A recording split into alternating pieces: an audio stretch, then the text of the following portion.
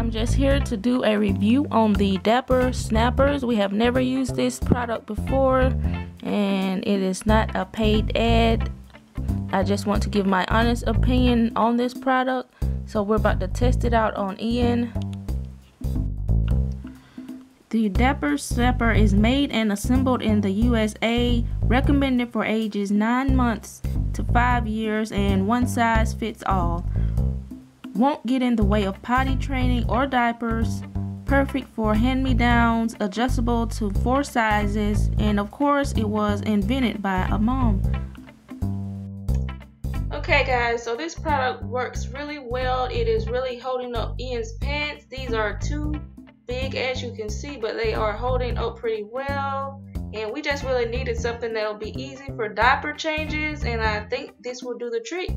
So if you are thinking about trying this product, I would go ahead and give it a try.